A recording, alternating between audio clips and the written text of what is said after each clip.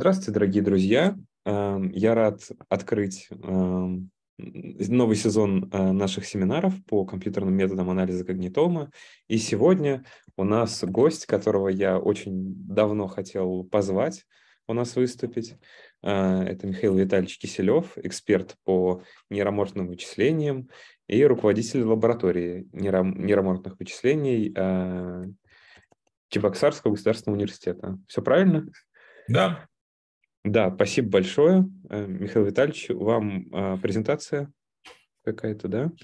Ну, я покажу немного, но, э, в общем, на самом деле, э, так, прям одной склитной презентации у меня нет, я буду показывать в случае там, по мере так сказать, изложения.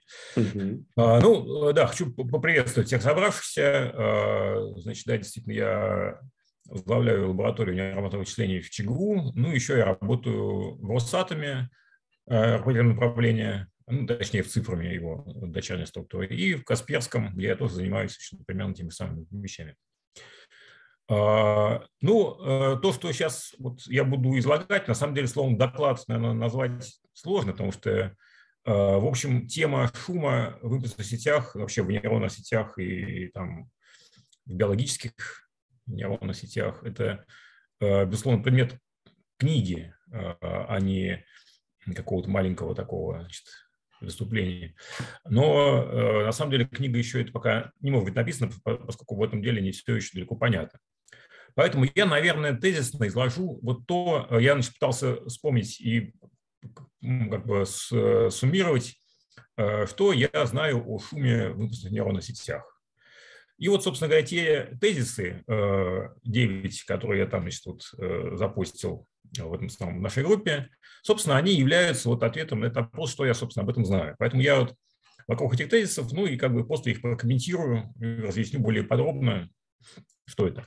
Ну, точнее, 8, потому что тезис номер 9, который в голове, это я, наоборот, хотел бы услышать от вас, как специалистов как раз по биологическим нейронным сетям. Вот это было бы интересно понять, а как, а как оно в голове, значит, да, по сравнению с тем, что, допустим, я буду излагать. А, ну, а, касательно шума в целом, общий подход традиционный, еще там из любых областей, связанных с обработкой информации, это считать, что шум – это плохо. Да? Ну, есть такая вещь, как отношение сигнал-шум. Ну и считается, если оно маленькое, значит, ну, это не здорово.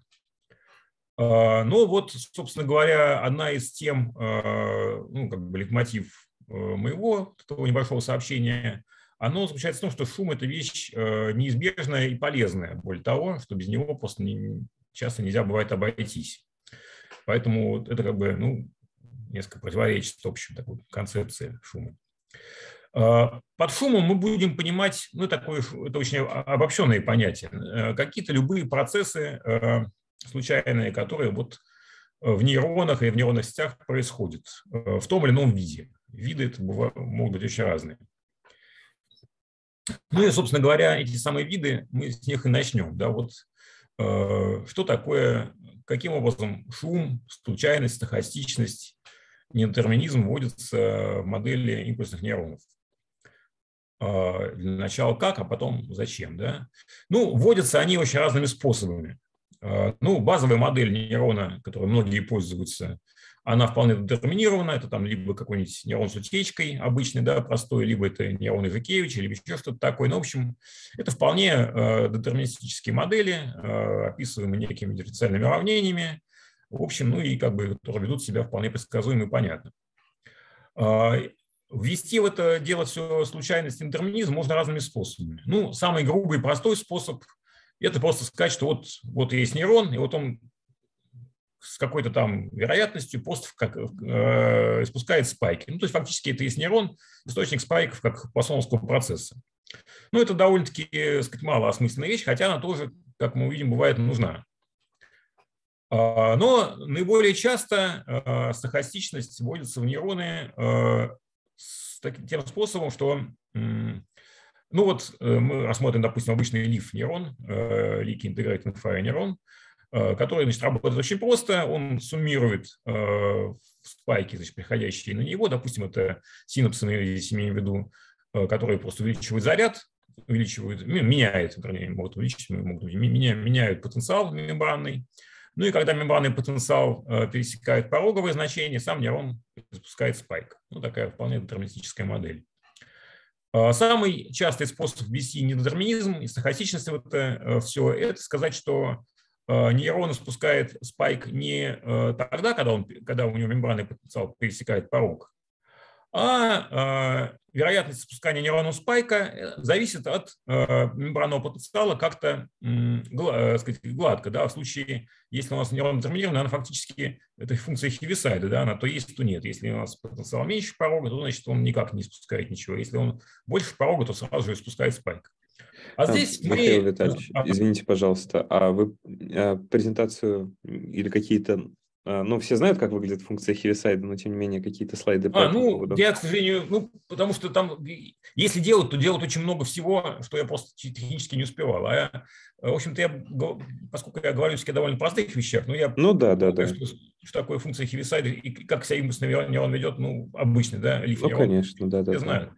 Поэтому я, Извините, я, что перебил. Я сначала пытался делать какие-то слайды, но потому что они как бы довольно банальные, и просто я потеряю кучу времени, а, в общем, никакого особого смысла. А потом я потом покажу, и никогда я чуть более сложные вещи буду объяснять. Угу, здесь, здесь как бы все понятно, да, что вот у нас детерминированный нейрон видится как, как ступенька. Если потенциал до порога, он ничего не делает. Если порог превысил, он хлоп и, значит, спайкует. То э, в случае э, Э, стохастического нейрона, мы как бы немножко размываем эту, эту, ступень, эту ступеньку.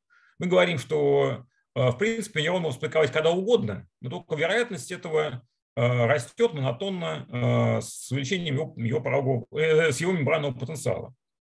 То есть даже если у нейрона мембраны потенциал меньше порога, все равно он может какую-то вероятность спайкануть. Ну и наоборот, если у него больше порога, он может, тем не менее, равно не спайкануть.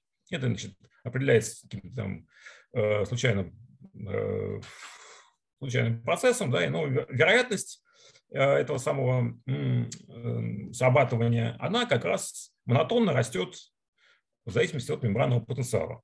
Это, разумеется, при этом нейрон становится недетерминированным, ну и как бы тут вводится в это все такой шумовой элемент.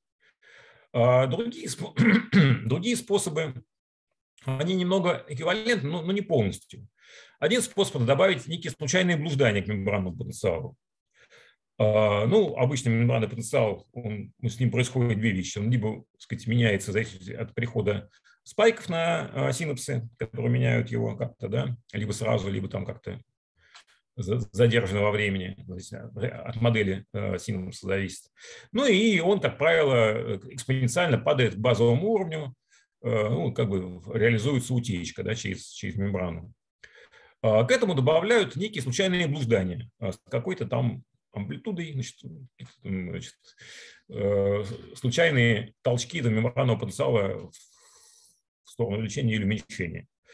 А, ну и это тоже добавляет стохастичности, хотя несколько другом варианте, чем первый вариант. Ну, фактически это эквивалентно введению какого-то внешнего тока случайного, который, значит, причем он может иметь положительный и отрицательный знак. То есть э, понятно, что заряд может либо падать, либо наоборот расти.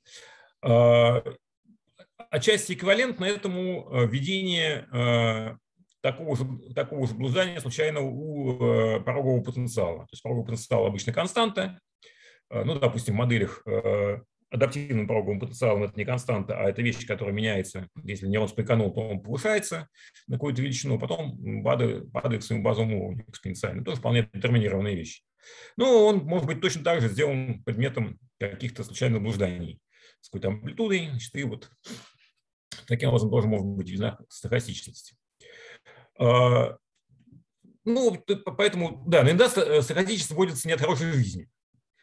Э, ну вот, например, если говорить об аппаратных реализациях да, э, в нейроморфных процессорах, то э, там как? Значит, чтобы реализовать обычно самую простейшую модель нейрона, нам необходимо обеспечить экспоненциальное падение мембранного потенциала. Да, вот он какой-то у нас есть, и он, значит, если ничего не происходит, если никакие спайки не приходят, то он должен постепенно экспоненциально падать к базовому уровню. Экспоненциально падает базовому уровню, ну, понятно, что никто экспоненту там от времени не вычисляет, но, тем не менее, умножают, да, то есть надо умножать время, значит, каждый, ну, там время дискретное, каждый такт эмуляции, значит, и умножать надо мембранный потенциал на что-то. умножение – вещь затратная, поэтому во многих случаях решают это с помощью вот такого приема без умножения. Значит, мы, если у нас есть генератор сочетания чисел в нашем, в нашем, в нашем железе, то мы сравниваем это случайное число, которое каждый раз значит, генерируем, с величиной пропорциональной текущему значению мембранного потенциала. Если она меньше, то мы э, делаем декремент этого потенциала на некую постоянную величину. Фактически мы здесь э, занимаемся только двумя вещами. Это тремя. Это генерируем число, сравниваем это число случайное э, с чем-то и отнимаем из мембранного потенциала константу. Понятное дело, что если мы такую штуку применим, то у нас будет примерно такая значит, ступенчатая экспонента, да, только она не экспонента, а такими ступеньками будет реализовываться. Ну, вот так, например, делают там в некоторых нейропроцессорах. Фактически, поскольку это тоже есть э, случайный процесс, то, в общем, это придает нейрону стохастичность. Но она такая как бы вынужденная из того, что мы хотим так оптимизировать. Но э, э зачем, собственно говоря, э, это надо, если вот это, это вводится специально? Э, главная причина – это э, сделать, э, уйти от главной проблемы импульса сетей, которая вот, ну, кажется многим проблемой для людей, которые работают с традиционными сетями. Там проблема в том, что это дискретная в своей сути система, импульс, импульсно-нейронная, импульсно-нейронная сеть, и там э, нету никаких, ну, грубо говоря, градиентов, да, то есть поскольку у нас либо все, либо ничего, да, то вот почему, допустим, backpropagation плохо работает, вообще, ну, фактически не работает, его там, в лоб его там никак не сделаешь в импульсных потому что там нет, там нету производных, да, там либо все, либо ничего, либо он спайканул нейрон, либо не спайканул вообще, да. А, и это так, даже если мы берем не один там, не один спайк, не одно событие какое-то, даже если мы усредняем по ну, у нас есть, допустим, частотное кодирование, да, то есть у нас, у нас какие-то величины кодируются частотой из спайков.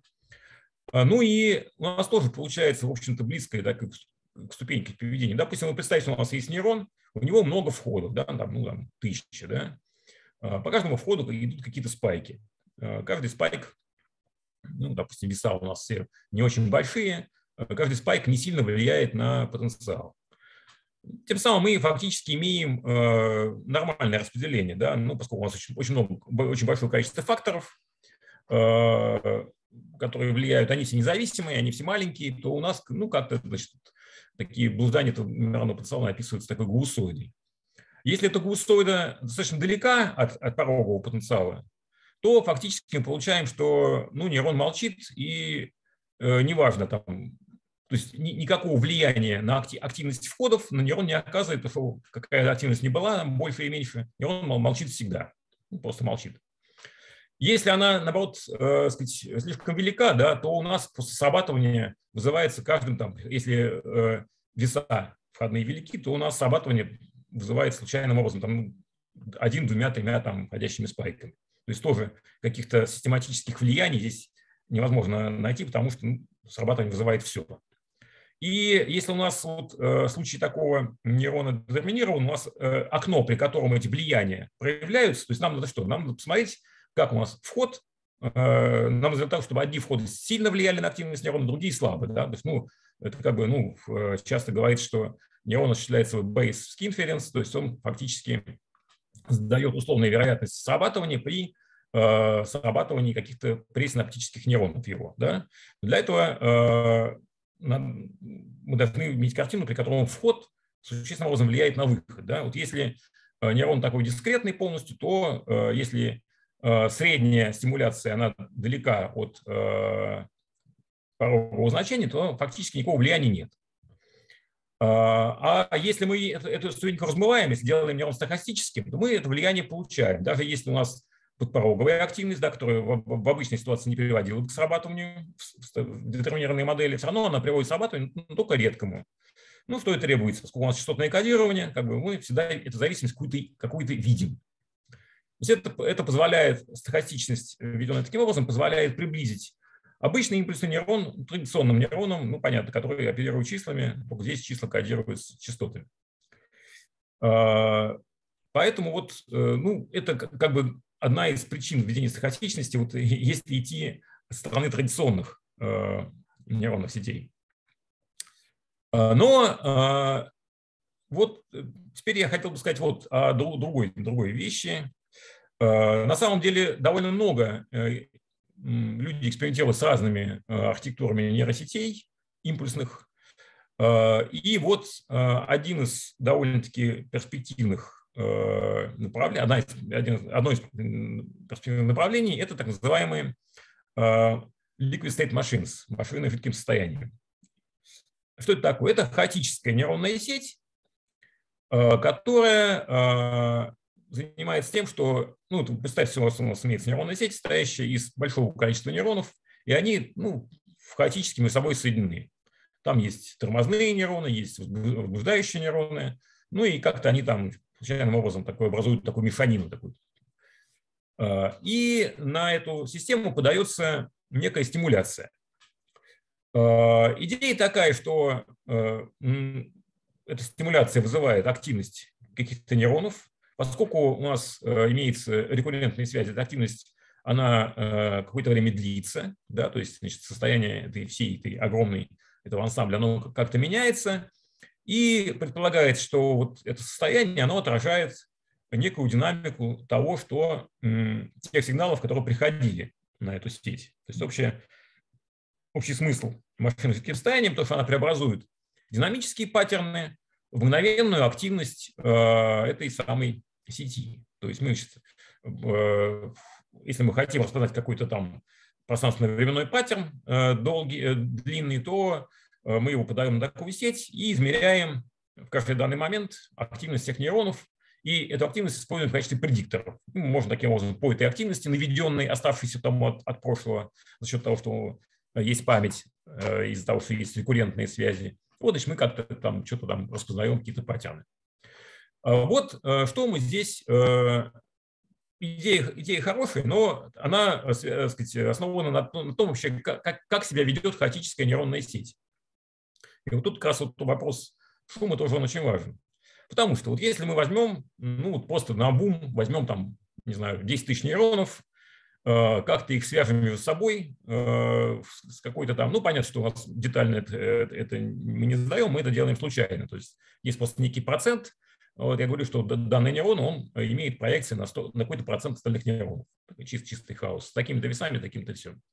Ну и дальше подаем на какой-то сигнал и смотрим, как эта штука себя поведет. Но вообще говоря, возможно пять э, сценариев э, событий, развития событий в такой системе. А, первый сценарий, если у нас э, недостаточно велики веса этих связей межнейронных, или, допустим, у нас очень сильно подавление, много тормозных нейронов, то активность, вот мы на счет подали, она не длится, она практически сразу стухает, как мы эту стимуляцию убираем. То есть такая сеть не имеет памяти, поэтому вот для цели, э, которую я сказал, она не годится, потому что там память является как бы необходимым элементом. То есть первый вариант – это просто затухание да, сразу. Э, если у нас много рекуррентных связей, они сильные, то мы, второй вариант, который мы имеем, это, это обратный. Да, мы имеем просто катастрофическое возбуждение, э, которое значит, все нейроны мгновенно, ну, там, экспоненциально возбуждаются до максимально возможного уровня, ну и дальше ничего не происходит, просто эта, сама сеть, э, эта, вся эта сеть постоянно занимается тем, что сама себя возбуждает. Тоже все, все следы мгновенно теряются, тоже бессмысленно. А, третий сценарий, а, он э, в особенности этот сценарий э, связан даже не с весами, а, связями между нейронами, а с их задержками, поскольку как мы знаем, в импульсных нейронных сетях там важны не только веса связи, но еще и синаптические задержки. То есть время, э, какое э, занимает э, спайку, пройти от одного нейрона на другому. Вот при сильных связях тормозных и при медленных тормозных связях в такой системе развивается состояние полной синхронизации, когда по сети прокатываются волны возбуждения и торможения. То есть сначала у нас нарастает возбуждение, это возбуждение э, возбуждает тормозные нейроны. Тормозные нейроны начинают спускать спайки, но поскольку эти спайки идут медленно, если, если у нас связи тормозные медленные, то, значит, соответственно, э, у нас возбуждение нарастает. как только эти спайки тормозные доходят до э, нейронов, они начинают их подавлять, ну, соответственно, у нас эта волна идет, идет вниз. И так вот э, фактически вся сеть становится охваченной, она вся синхронизируется, становится охвачена таким вот волновым процессом, который э, тут точно так же бессмысленно, поскольку он абсолютно стирает все особенности предыдущего сигнала, которые на нем были. Хотя он не сводится к первому и второму виду, но он тоже бессмысленный. А четвертый вариант, э, который может быть, это то, что у нас, э, это зависит от, тоже от, от connectivity, от, ну, там еще, я не буду говорить точно, в каких условиях развиваются эти события.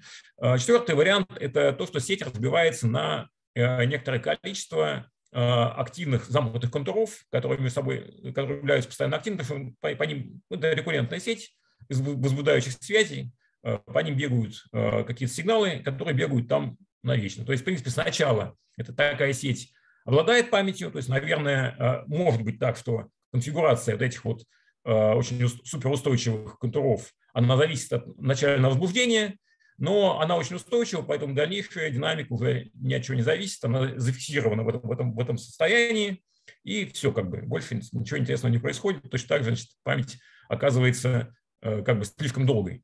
Она вот залипает на ней, да, и ничего нового уже как бы себя не включает. А, вот эти четыре, четыре режима являются а, вредными, да, потому что они не годятся для такого процессинга, для, для любого процессинга. И, наконец, только пятый режим является как раз тем, которым вот это, это, это цель наличия памяти, там, ее использования для, вот, не была бы реализована. Это так называемый сбалансированный режим. А, то есть в этом режиме Э, который достаточно узок. Я тоже исследовал этот вопрос. Он на самом деле требует довольно-таки хорошего файн-тюнинга параметров, коннективити, э, весов там, и всего остального. Когда сеть входит в режим такого генерации псевдослучайных спайков, то есть ее активность, она, в общем-то, почти неотличима от хаотической.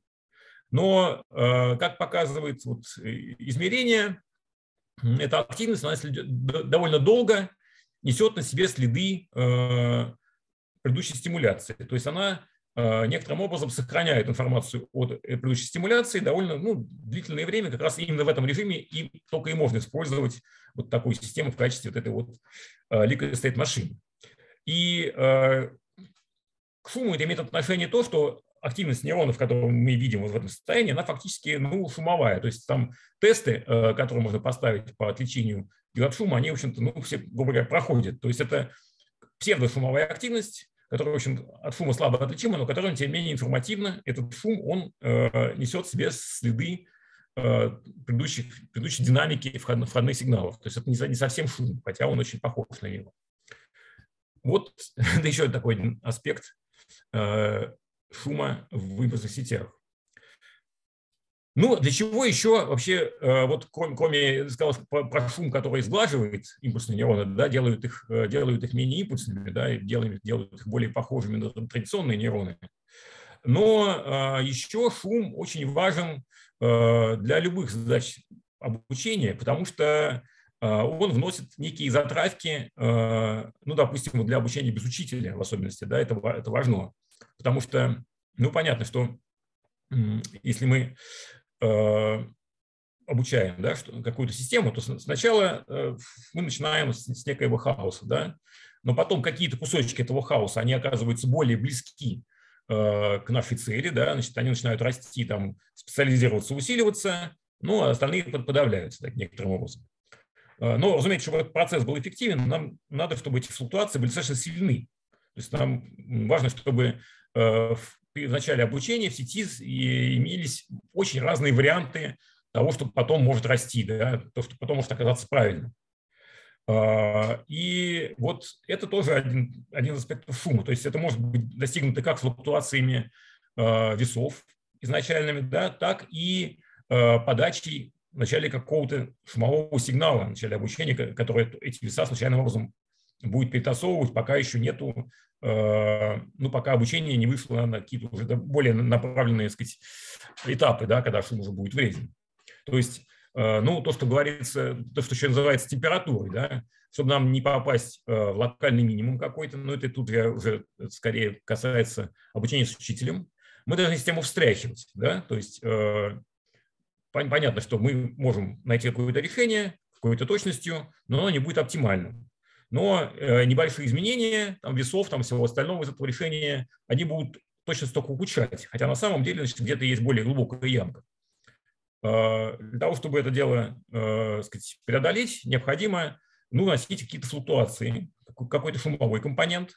Поэтому шум и в начале обучения для создания флуктуаций, и на позднейших этапах, чтобы э, нам значит, э, сказать, выходить из этих локальных, локальных минимумов, он необходим.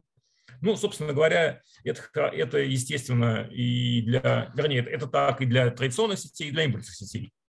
Но вот, то есть вот еще, один, э, еще одна польза шума – это, значит, соответственно, в обучении их источник начальных флуктуаций и последующих флуктуаций. Есть еще одна очень специфическая вещь, которая, где тоже шум является почти, ну, практически необходимым. Это, ну вот как раз если мы говорим о э, обучении без учителя, то э, ну, известно, что, допустим, классическим примером нейросетевой структуры, которая это делает в традиционных нейронных сетях, в традиционном подходе, это кохановские, э, кохановские сети, да, кохановские self-organizing maps. Э, фактически э, в этих сетях, эти сети как устроены? Э, это однослойная сеть, где нейроны соединены со входами, а между собой они соединены фактически тормозными связями. То есть, когда один нейрон активен, то он подавляет ну, какие-то там ну, другие нейроны, там, может быть, кроме там какого-то ближнего соседства. То есть мы имеем две, два вида связей. Связи восходящие, возбуждающие, которые обучаются, которые связывают нейроны со входами, и связи латеральные тормозные, которые сильные, которые не пластичные, которые значит, э, сделаны для того, чтобы, э, если нейрон что-то распознал, что другие этого уже не делают. Но вот э, это все прекрасно, пока мы остаемся в области традиционных нейронных сетей. С импульсными нейронными сетями имеется одна такая проблема специфическая, как раз связанная с тем, что там сигналы распространяются не мгновенно. То есть там сигналы распространяются какое-то время. Ну и представьте такую ситуацию, что вот у нас есть два нейрона, э, которые э, оба распознали одно и то же, что-то, они как-то спайканули, то есть, ну, заметили какие-то там, какие-то веса с активными входами у них оказались сильными, они э, спайканули, э, спайканули, значит, они, ну, зафиксировали какой-то там паттерн, да, что-то распознали. По идее, это должен быть один нейрон, а не два. Но получается так, что они, они это сделали мгновенно, они поставили друг другу тормозные э, спайки, но эти тормозные спайки уже опоздали, да, потому что они уже распознали. Более того, э, получится так, что дальше у них будет еще больше шансов распознавать это вдвоем, потому что э, они оба усилят свои вот эти веса, которые получили спайки из э, входов, и дальше они, скорее всего, снова сработают одновременно. То есть эта ситуация не только плохая, но она еще устойчивая, и она, эта устойчивость во времени будет расти. То есть это придет к тому, что поскольку у нас задержки торможения, они конечные, то у нас будет один или два или много нейронов, которые будут срабатывать одновременно, и мы не достигнем поставленной цели. То есть мы, э, у нас куча э, нейронов будет срабатывать на одно и то же. А, это можно э, противодействовать, это можно, если мы внесем некий шум. Да? Если мы, допустим, сделаем срабатывание не мгновенным, а как-то случайным образом задержанным. То есть мы что-то уже пересекли пороговый потенциал, но мы еще не сработали случайным образом. При этом, если один нейрон сработает, а второй нет, то проблема будет решена. А, если они не сразу это сделают, а чуть-чуть с задержкой, то один нейрон сработает первым, он успеет подавить тот нейрон, и э, веса связи, которые, которые заставили его сработать, второй нейрон-неудачник, они будут подавлены по закону пластичности.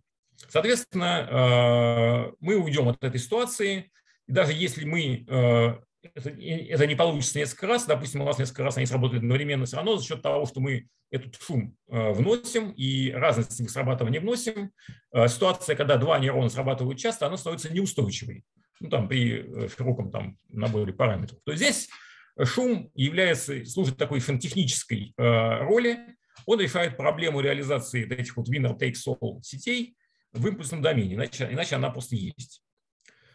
А, ну вот теперь как раз я а, хочу про еще одну роль шума, и тут я уже, наверное, покажу. Сначала я расскажу, а потом значит, э, это связано с одной очень интересной, очень остроумной моделью, моделью рабочей памяти в импульсных сетях, которая была придумана Ижикевичем Евгением и его коллегой Сатмари, Батон Сатмари, которая называется спайковая модель рабочей памяти. Она основана вот на чем. Сейчас я попытаюсь показать экран. Минуту. Так, так, так, так, так. Сейчас. Я, собственно говоря, буду показывать просто его статью, потому что... Ну вот я покажу его слайд. Сейчас, минуту. Я, значит, э, устрою демонстрацию экрана. Share screen. Вот. Share. Видна, да, его? Э, да, да. Вот тут, да, очень интересная тоже роль шума, поэтому чуть, чуть об, на этом остановлюсь. А, что делал Ижикевич и как он, значит, вот, э, сказать, как он здесь применял шум?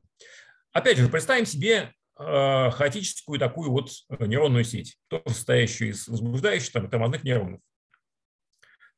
Э, эта сеть пластична, у нее меняются, э, ну, по обычному закону, да, STDP, меняются веса ее связей.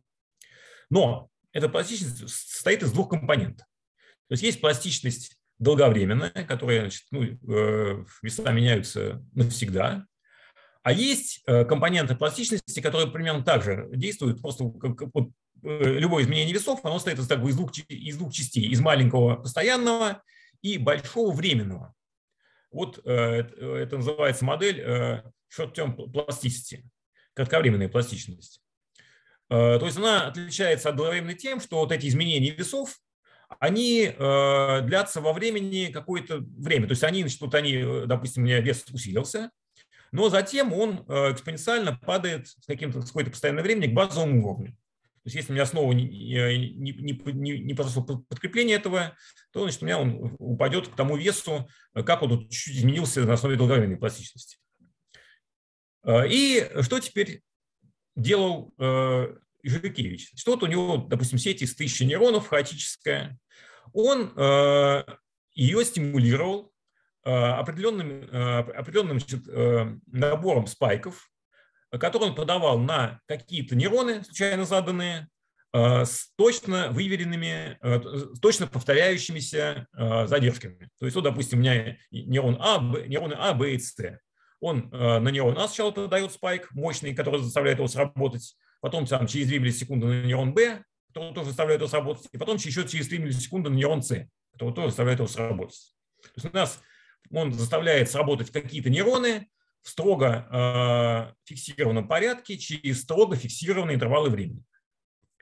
При этом, э, поскольку э, у нас значит, тут э, хаотическая сеть, то э, и веса довольно большие, то есть есть нейроны, которые срабатывают там, от двух-трех спайков, то получится, что э, эти вот, э, это, это э, инициация стимуляции, да, она приводит к срабатыванию каких-то еще нейронов, с которыми эти три нейрона соединены.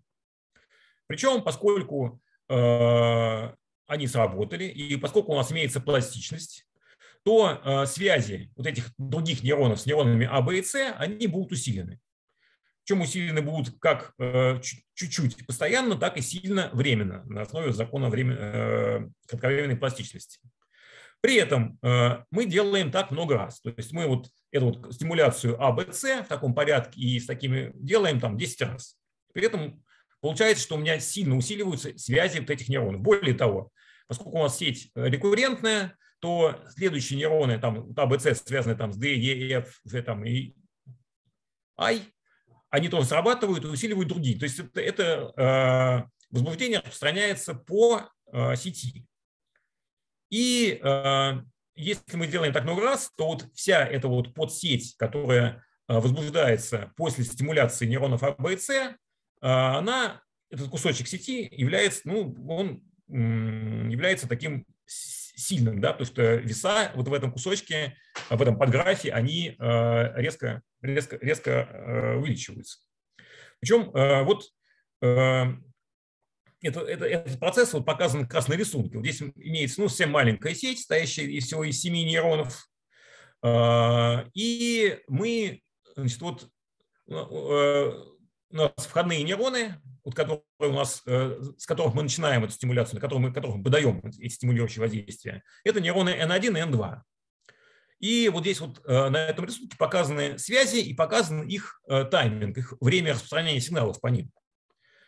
И вот видно, что э, если мы простимулируем нейроны N1 и N2 вот в таком порядке, с такой задержкой, у нас будет активирована вот такая-то вот сеть, которая красненьким нарисована да, сверху.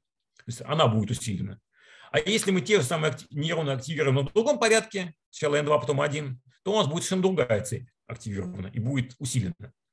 То есть э, в результате того, что у нас мы вот в таком порядке стимулируем какие-то нейроны, а у нас получается э, ну, некоторая память. Да? То есть мы запомнили, что э, эта стимуляция была именно такая, запомнили мы это в виде весов, которые у нас вот таким образом усилились в этих группах. А поскольку вот прохождение спайков по этим группам, оно является очень точно фиксированным, то есть э, все спайкует именно в том порядке, как вот как это изначально было, то все определяется задержками то Изакевич назвал такие группы нейронов полихронными группами, а сам нейрон назвал эффектом полихронизации. То есть он говорит, что вот мы запоминаем э, эти стимулы вот в виде такой вот конфигурации весов. Ну, замечательно, э, мы запомнили, как мы э, ретривим, как, как мы эти, эти воспоминания получаем, как мы эту память получаем. А вот тут как раз играет роль шум. То есть, когда мы перестали подавать эту стимуляцию, все, на основе внешней стимуляции нет, но у нас в сети имеется, э, ну, как я говорил, да, сбалансированная, э, сбалансированная сеть, она проявляет такую шумовую активность спонтанную. То у нас вот эти спонтанные шумовые активности время от времени могут случайно э, спайкануть нейроны N1 и N2 именно в таком порядке, как вот они стимулировались этим, этим входным паттерном. При этом, как только это произойдет, нас сразу, поскольку у нас еще, допустим, не успели пока до базового уровня ослабнуть веса от этих вот красной, красной группы или черной группы, мы получим, что все этот э, цепь возбуждений пройдет снова по всей этой группе, ее усилив. То есть э, шум здесь является триггером воспоминаний. Э, коль скоро у нас есть, есть полихронная группа, пока она еще как бы не, не ушла там в песок, да, пока у нас эти веса еще не релаксировали до базового уровня, спонтанная шумовая активность позволяет ее вспоминать. Ну, разумеется, э, тем дальше, тем, тем, тем реже. То есть сначала у нас такая ситуация возникает часто, но потом из-за того, что у нас веса релаксируют, мы это делаем все реже и реже, а так, в конце концов, значит, у нас все не, э, не перестает, да? то есть, поскольку это кратковременная память. То есть вот такая очень оригинальная модель памяти. Э, Причем главное, что здесь важно, ну, немножко сказать, отступив от темы шума, то, что это очень информационно емкая хранения, да, потому что э, несколькими спайками, в зависимости от того, как, как, каков их порядок и, и какие э, между ними задержки, можно закодировать там тысячи, десятки тысяч разных паттернов. Потому что понятно, что у нас э, как ключ да, в замке, у нас вот точная конфигурация этих вот, значит, э, спайков и задержек, задержек между ними, каждый раз новый паттерн. И в одной и той же сети небольшой мы можем э, хранить во-первых, она может запоминать много разных паттернов, и даже более того, как показал Ижикевич, одновременно хранится там вот этих полифонных групп активных в э, каждое данное время может, может быть много. Они не очень долго мешают. Ну и вот как раз тут шум здесь является необходимым элементом, без него бы этого ничего не было. Да? Если, если бы у нас э, наша сеть не проявляла бы спонтанной шумовой активности, никакого воспоминания бы сказать, не происходило. Э, вот. Э, ну, затем, э, что еще можно сказать о шуме. Да? Значит, э, разумеется, для функционирования импульсной нейронной сети важно, чтобы нейрон э, всегда находился в некой рабочей точке. То есть, чтобы, ну, понятно, что э, стимуляция может быть сильнее, слабее, но нейрон должен, должен к этому как-то адаптироваться. Ну, отчасти а, адаптация к этому происходит за счет, допустим, ну, в моделях э, с э, адаптивным порогом из-за того, что у нас порог просто адаптируется. Да? В зависимости, если, он, э, если активность высокая, он начинает там быть больше, чем в среднем, из-за того, что вот ну, я говорил про этот процесс, он каждый раз увеличивается при каждом спайке и медленно релаксирует назад. Но второй способ поддержания нейронов в рабочей точке это, это добавление к ним неких, некого неинформативного пласоновского шума, который просто заставляет нам трудно менять порог, да, э, порог срабатывания порога потенциала, потому что это часть модели нейрона, это константная в сущности вещь, да, ну, если обычно так. А вот э, менять стимуляцию, да, которая нам базовый уровень стимуляции бы варьировала, э, от которого мы бы как бы писали, когда к нам приходят какие-то полезные сигналы, мы можем легко, просто добавляя пласоновский шум э, на вход этого нейрона. Соответственно, Пласоновский шум является здесь способом регуляции рабочей точки нейрона, э, способом поддержания нейронной сети э, в нужном, в нужном диапазоне активности. Как бы вот еще одна функция э, шума значит, во всем этом деле. Ну и последний, может быть, он отчасти связан с вот затравочными этими да, вещами при обучении. Я сейчас занимаюсь обучением с подкреплением, reinforcement learning то, ну как, чтобы, чтобы у нас происходило обучение, нам сеть должна что-то делать. Да? Что такое reinforcement learning? Сеть получает какое-то описание чего-то, да, какого-то э, окружающего мира, делает некие действия и получает с каким-то временным лагом оценку этих действий. Там, хорошо она сделала или плохо. Причем оценки довольно редкие. Но чтобы эти оценки были, необходимо, чтобы сеть что-то делала. Вначале она еще не знает, что делать. Ну, чтобы она что-то делала, сначала там на обум, ну вот необходим тоже шум, да, потому что он дает как первые изначальные стимулы, случайные для каких-то действий, которые потом будут оцениваться там правильно или неправильно. А, поэтому естественно, что здесь шум тоже является принципиально необходимой вещью. Ну и даже в более простых вещах, связанных с обучением, если это обучение, допустим, supervised learning, если у нас мы учимся чему-то редкому, да, то мы должны э, не только знать это редкое, но мы должны знать то, что им не является. А то, что им не является, будет, скорее всего, просто наперед заданный сигнал, который, ну, если мы учим, э, понятно, да, у нас э, целевой, целевой класс, он какой-то редкий, встречается редко, то как отрицательный пример мы просто можем брать шум. То есть мы подаем шум, нейрон срабатывает на этот шум, мы говорим, а нет, ты сработал на шум, мы даже не знаем, правильно, но, скорее всего, он будет неправильный, да, поскольку у нас положительные примеры редки. Ну, мы тогда подавляем это срабатывание на этот шум. Да? Вот когда мы подаем какие-то положительные примеры, там мы как бы используем это для увеличения весов. То есть шум, шум здесь является просто источником отрицательных примеров э, в, в обучении, если, если их априори нет. Э, ну вот, наверное, все возможные виды, известные мне применения, полезных применений шума в выборных сетях, я, наверное, перечислил и более-менее прокомментировал обрисовал, как это происходит. А, ну вот, как я сказал, о том, как происходит в биологических нейронах, это вот я, может, может, вы расскажете, это было бы очень интересно. Ну, а сейчас я, значит, я, может быть, что-то такое говорил сбивчиво и непонятно, тогда я вот могу объяснить, э, если это непонятно, и разъяснить, э, отвечая на вопросы. Ну, давайте, во-первых, поблагодарим э, Михаила Витальевича за его замечательный рассказ. Эм, вообще, я хотел э, попросить еще раз вас, наверное, уточнить про как раз механизмы исправления ошибки. Вот вы привели механизм да, с э, быстрой пластичностью, значит, в которой э, шум используется как раз для подавления ошибок, но говорят, что есть еще на нейронном как раз уровне механизм, связанный с вот этими вот микрошипиками, которые тоже реагируют вроде как на какие-то ложные, ну, неправильные возбуждения. Как вы думаете, это как-то коррелирует друг с другом? Ну, я не, не знаю, пока, наверное, я, наверное, не очень, не очень понимаю, да, о чем идет речь я все-таки не биолог, я, для меня синапс это такая модель, в общем-то, да, математическая, я там, не знаю, там э, особенности связаны с шипиками там, и чем, чем-то еще таким вот совсем биологическим. Так, у нас в чате вопрос. Шум, э, шум он э, отличается от нешума тем, что он не коррелирован. Соответственно, э, если мы хотим выявлять что-то, что коррелировано, шум, э, шумовая активность, она отрицательная, должна подавлять. То есть, если мы реагируем на шум, значит, мы реагируем неправильно априори. А, если мы реагируем на нефум, то значит все хорошо. Вот базовые общие мысли именно, именно в этом.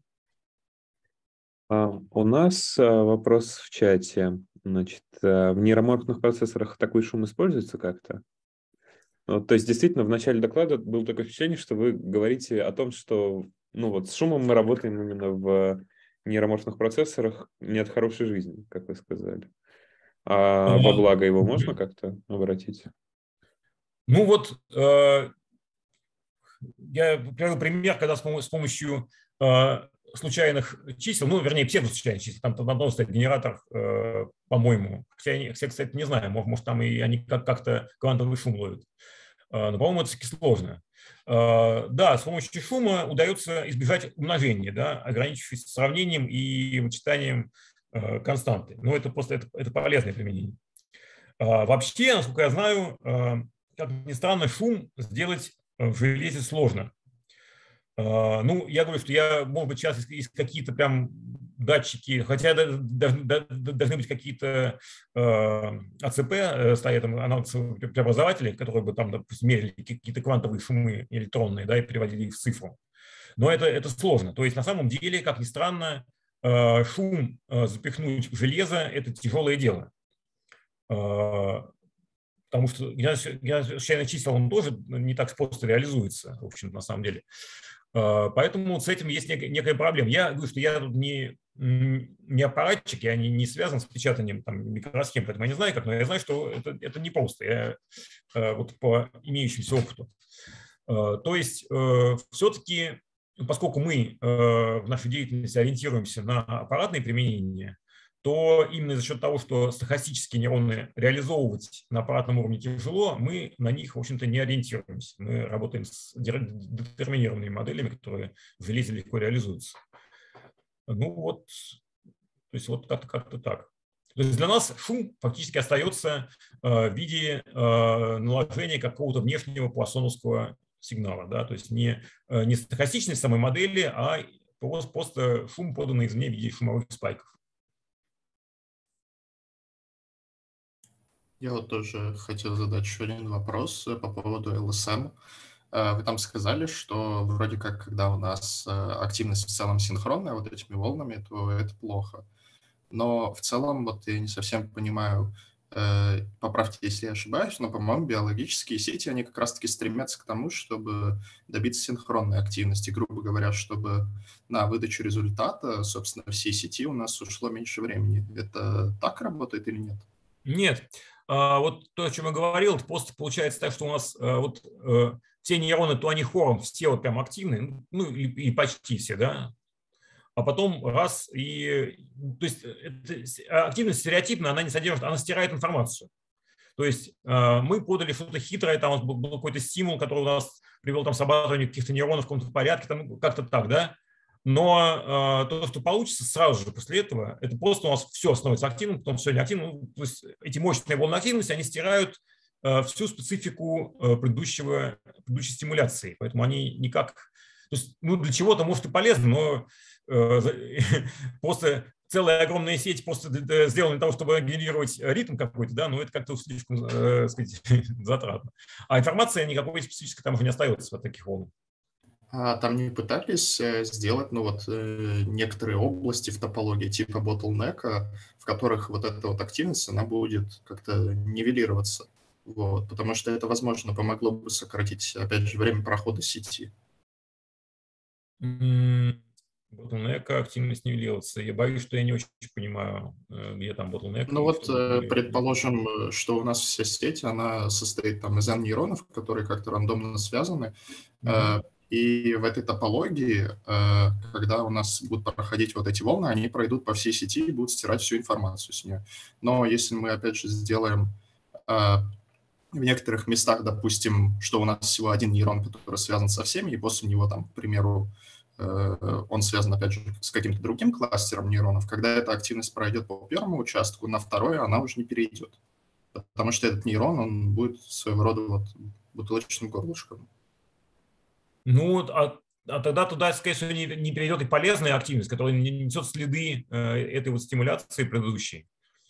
То есть понимаете, вот это нарастание этих волн, их падение, это экспоненциальный процесс. То есть это все развивается таким очень, это очень быстро, да, потому что понятно, что там образуется положительная обратная связь, потом охватывает все, потом она разрывается, значит, и падает, да, это экспоненциально быстрый процесс, поэтому они, если бы эти, эти были бы какие-то длинные волны, да, они могли бы там еще что-то а, а, в себе оставлять. Там, ну, а это все очень быстро делается, как правило. Да? Ну, на таких, если мы берем э, разумные размеры сетей и ну, какие-то физиологически близкие там, величины э, задержек э, синаптических в них.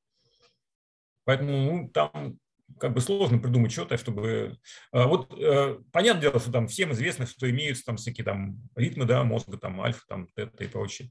Но, во-первых, они не имеют такой такого тотального э, характера, да, где просто все нейроны берут и там, все хором спайкуют там, в пределах там, 10 миллисекунд. Я думаю, что такого никогда не наблюдается. Это скорее уже эпилепсия, а не, а не, а не ритм. Да?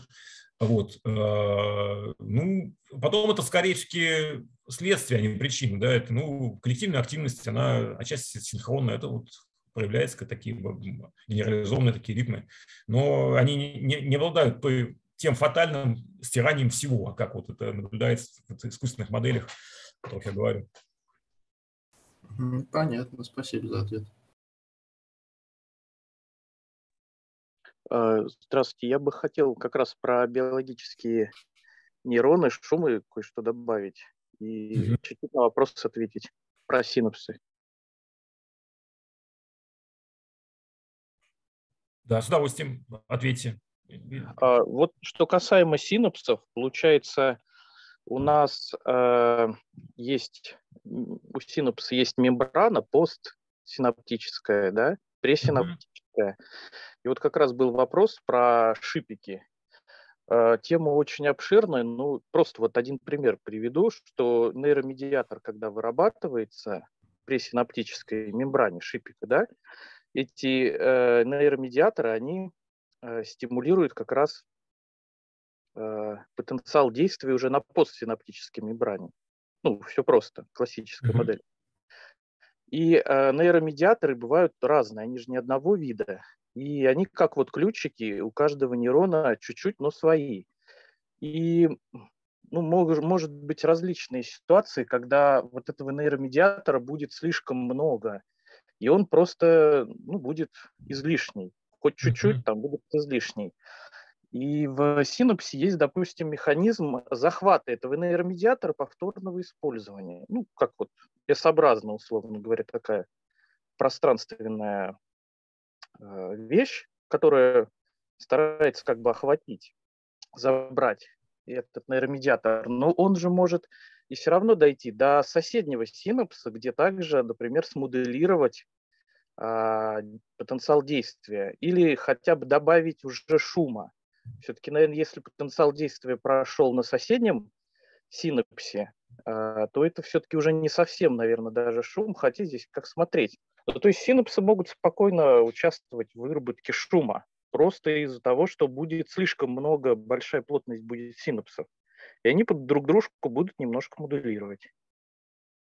Ну, это скорее другой вопрос. Тут я не вижу где-то э, шум. Тут э, взаимовлияние синапсов друг на друга, да, это, конечно, такая штука есть, более того, она даже моделируется. Вот, скажем, там в процессе Лоихи там есть такое, э, такое понятие, как э, дендритное дерево. Да? Это понятно, что это биологическое понятие, но там, короче говоря, там входы э, нейрона, они организованы, они не плоские, да, это не некий там набор там просто да, каких-то сущностей, а это древовидная структура. То есть с каждым узлом дерева там связано некоторое количество синапсов, и между этими узлами, в этих узлах может быть некая операция, в том числе нелинейная, обязательно, сказать, не обязательно сложение, это может быть какой-то гейтинг, это может быть какое-то умножение, то есть что угодно. То есть там а, как раз вот в этом процессоре смоделирована возможность взаимодействия между нелинейного, между разными синапсами. Но вот мне кажется, то, что, о чем вы говорите, это скорее вот это, то есть это просто ну, такое расширение модели синапсов на, на предметы их взаимодействия, чем шум. Ну, а тут шум как бы, ну, если большой сигнал пришел, он там закономерно будет там распространяться на другие синапсы рядом находящиеся, мне кажется. Ну и все. То есть это немножко другой вопрос, как, как, как, как мне представляется. Ну да, да, так и есть. Нет, ну да, да. Взаимодействие между синусами – это вещь, которая еще мало исследуется, то есть она мало где применяется в моделях, но она вот уже даже реализована аппаратно. Вот в логике там прямо это позволяет делать очень нетривиальные там схемы взаимодействия, там какие-то вентильные, да, то есть э, один синус может блокировать другие там или усиливать. То есть, ну, какие-то очень хитрые вещи, которые даже пока еще моделями не, не охвачены. Э, ну и второй я хотел добавить тоже про биологию немножко. То есть э, вот на уровне синапсов, да, это уже ближе к верхнему уровню, как бы то ли это шум, то ли уже это не шум. То есть это верхнее влияние такое, самое, ну, уже достаточно, самодостаточное, да, чтобы его уже даже шумом не называть. А если мы берем самый базовый уровень шума, ну, наверное, даже многие знают, то это уже идет на молекулярном уровне, просто на уровне диффузии, взаимодействия молекул, случайных процессов. То есть как бы даже не совсем уже к, относится к каким-либо моделям, больше уже как бы уже физика, да, молекулярная. Я правильно понимаю, что если говорить о все равно моделях, то шум там это э, фактически шум веса, да, то есть вес, он не фиксирован, а он может, то есть один тот же э, спайк, принятый на один и тот же синус, может оказать разное влияние случайным образом на мембранный потенциал там, или на проводимость мембранную. Да? То есть это имеется в виду? Да, конечно. То есть вес является, вот да, то, чего, кстати, я ни разу не видел, в каких-то моделях, то есть вес является ну, неким объектом случайного, случайного блуждания. То есть он не статичен, а он как-то может там что-то гулять. Понятно, да, интересно. Да, да. И получается, а, если мы берем вот э, уже как вот биологическую клетку нейрона, его шипиков, э, дендритов, то получается на уровне вот этой молекулярной физики, на уровне ионов, э, абсолютно каждый спайк на протяжении вообще всей эволюции сопровождался вот этим ну, техническим шумом. Каждый, ну, потому что по-другому никак. Там, а, чтобы сделать потенциал действия, нужно очень много а, чтобы работал насос ионный, много было АТФ, и там просто биологических, вот этих физических процессов много, и они все равно создают шум. То есть каждый спайк – это все равно огромное количество технического, ну, минимального шума. Угу. Ну, э, для меня интересно, как его можно формализовать. То есть, да, э, мы работаем, мы все это, всю эту немыслимую биологическую сложность пытаемся уместить в, общем в очень тесные рамки каких-то моделей, да, чтобы с ними можно было работать.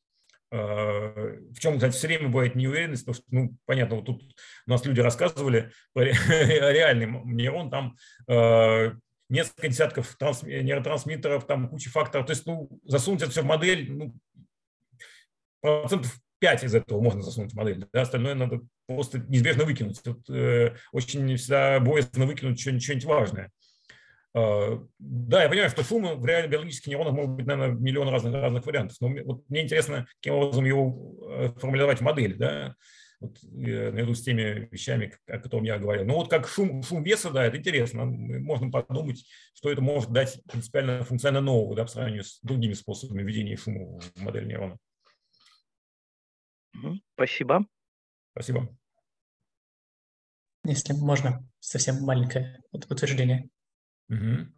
Что вы так говорили, какие-то более сложные вещи про спиловер, там, про выливание, медиаторы и прочее, но, в принципе, нужно, мне кажется, помнить, что, в принципе, когда у вас любой а, действительно ответ на потенциал действия, он как-то примерно биномиально распределен, потому что у вас есть n визикул, и каждый визикул там, с какой-то вероятностью p а, выбрасывается. Вариация конкретного ответа достаточно большая. Такое биномиальное расширение, распределение вы не можете ну, понятно, как-то там хорошо уменьшить вариацию. Mm-hmm. И вероятность выброса конкретная, она там, ну, понятно, что если бы вы ожидали, что близка к единице, тогда была бы маленькая вариация, но часто она там в районе там, действительно там, 0,6, 0,7, там, там, 0,3, то есть она не приближается, к, редко приближается к крайним значениям. Поэтому вот, ну, в этом моменте я бы сказал, что достаточно большая вариация ответа. Понятно. Вес. То есть вес, грубо говоря, это очень грубо заданная величина, да, то есть ну вот многие да, э, задавались вопросом, а сколько бит э, в весе биологического синапса? Ну, я так понимаю, что буквально там 2-3 бита, да, то есть там, ну, понятно, что если все так варьируется, то задавать вес как, как флоу там, до седьмого знака там бессмысленно. Но я думаю, что вот, наверное, Ну, кстати, вот э, многие эксперименты показывают, что нормальные нейросетевые модели, они очень э, нечувствительны к огрублению весов, там, к квантованию, поэтому ну, двух-трех битов на вес вполне должно, должно, по идее, хватить. То, что вы говорите, вполне с этим согласуется, да, поскольку если у нас все так нечетко, там везде они могут так сказать, распылиться, могут не распылиться, да, то это как бы дает нам очень, очень слабую э, точ, точность э, фиксации данного веса одного. Ну да, когда обычно говорят про вес, все-таки говорят про усреднение по нескольким, по многим реализациям в этом плане. Конкретно реализации достаточно шумные, могут очень сильно варьироваться. То есть не то, чтобы вес был неточный, а он, он точный, но э, то есть его, как бы его мат ожидания, оно довольно-таки точно выставляется, но конкретные данные инстанс, да, его применения, он, оно просто в большой дисперсии выражается, да? То есть вот, вот так. Ну да, да, да. Ну вот как биномиального в первом бы приближении рассматриваем. Угу, ну, кстати, интересно, вот такой вот э, вопрос о, о квантовании весов многие задавали, там, и, а вот вопрос именно о таком подходе, да, то, что у нас вес точный, но он э, как бы в каждый данный момент, э, когда он реализуется, он варьирует там, с большой дисперсией. Вот такие, по-моему, изменения, измерения я еще ни разу не, не видел э, вычислительные. Любопытно.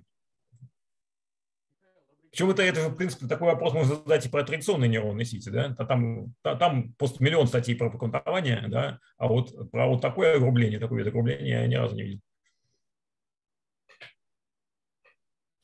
Спасибо. А можно еще вопрос, вот как раз больше уже, ну, он, наверное, простой будет. Вот когда мы говорим про квантование, это мы говорим про естественный шум в искусственных нейронных сетях, верно? Ну, по кантованию, да, если, если у нас так все не, не, точно, да, то э, ну, мы должны предположить, что у нас веса меняются там 1, 2, 3, 4, 5, 6, 7, 8, 9, 10 и все. У нас 10 градаций весов, грубо говоря. Да? Ну, поскольку если все это гуляет, да, то нам э, более точный вес э, невозможно выставить. Ну, вот если, если не учитывать то соображение, кто вот предыдущий э, сказать, э, коллега излагал.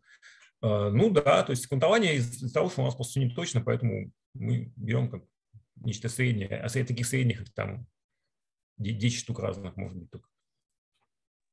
А, и еще сразу в догонку вопрос. Если, получается, мы сделали достаточно хорошую нейронную сеть и специально не закладывали туда шумы вообще никакие, то есть им взяться вообще неоткуда уже, да, естественным mm-hmm. путем, их там не будет. Ну, если их там нет, как, как они там могут быть?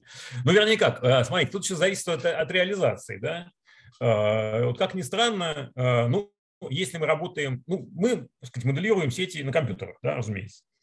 Если мы их моделируем на ЦПУ, на обычном, да, то там нет откуда взяться в принципе никакой, никакого детерминизма, да, ну, потому что ЦПУ, оно и есть ЦПУ. Но если мы их начинаем даже на ГПУ эмулировать, там уже есть операции, которые являются, в принципе, нетерминированными. Известно, что плавающие операции на ГПУ не детерминированы. То есть там, хотя никакого шума я и не вкладываю, да, но детерминизм там может не оказаться. И уж тем более, если мы начинаем делать на каком-нибудь нейро, нейрожелезе, где там доставка спайков, это уже вещь там не всегда гарантирующаяся, ну там дальше начинается большой простор для недетерминизма. То есть даже если мы никаких шумов не вкладываем, из-за того, что мы реализуем на, вот на обычном нашем земном железе, да, там вполне может она вдруг оказаться. Это самая недетерминированность.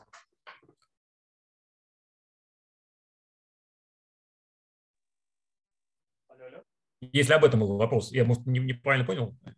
Почему? Да, спасибо. Ну, а. примерно об этом. Да. Угу. Ага, да. Алексей поднял руку, пожалуйста. Да. А, а, спасибо большое за доклад, очень интересно хотел спросить по поводу э, самой э, концепции модели, а, потому что э, вот мы сейчас говорили про шум, и шум, он э, очень много э, занимает места во всех этих э, моделях. И, может быть, можно подойти с другой стороны, то есть ввести, например, вероятности э, как основная часть э, модели этой системы. И, соответственно, необычная система будет полностью хаотична, э, недетерминирована, и обучение будет снижать, э, снижать разброс, снижать дисперсию. Вот, то есть, чтобы это было в самой основе модели, то есть, чтобы это было ближе к марковским, например, каким-то сетям, к марковским алгоритмам, потому что есть очень много интересных продукционных э, алгоритмов, типа, например, волнового коллапса, который используется для продуцирования паттернов. Вот. И там как раз используется этот самый принцип, когда есть некоторые признаки, которые можно перевести как спайки, и вероятность состояния данной клетки будет зависеть от того, а, какие сигналы, импульсы приходят. Но это тоже не, не детерминированный процесс, это очень вероятностный процесс. То есть вот все, что было основано на снижении вероятности. И вероятность была в, самой, в самом корне всего этого. Ну, я, наверное, понимаю, о чем вы говорите, но мы-то все-таки работаем не с распределениями вероятности, а с их реализациями. Вот если бы мы были бы квантовым компьютером, да, вот квантовый компьютер работает прям с самими распределениями непосредственно, а мы работаем уже с их, э, с, ну, с чем-то реализованным, согласно, с, с, с, с этим распределением. Поэтому мы не можем непосредственно там, менять какие-то вероятности или что-то еще. Да? Мы не оперируем распределениями ни в, какой, ни в каком виде. А, ну, поэтому я мне как-то идея интуитивно понятна, но я не очень, не очень понимаю, как можно ее реализовать. И вот маленький еще вопросик продолжения а, по поводу реализации этой вероятности и точности. А, как можно, ладно, если мы берем, например, экспоненциальное затухание сигнала или не сигнала, например, там, мембранного потенциала, мы каждый такт, по сути, делим на некоторое число. Деление да. или умножение – это затратная операция. Да. Вместо нее мы в симуляции можем использовать битовые операции, например, ну, сдвиг. Битовый сдвиг, который равносилен делению НАТО, что уже будет как бы поэффективнее. И с другой стороны, если взять пример того же флота, э, то там каждый э, бит старшего порядка, он отвечает за э, грубое, скажем так, приближение. Бит более тонкого порядка, ну, следующий, он отвечает за уточнение данного числа. То есть, например, первый бит, например, отвечает больше 10, меньше 10, ну, грубо говоря. Второй бит отвечает там больше 5, меньше 5. Э, третий бит отвечает э, плюс 2,5, минус 2,5. И таким образом это вот как раз битовая реализация и снижение вероятности.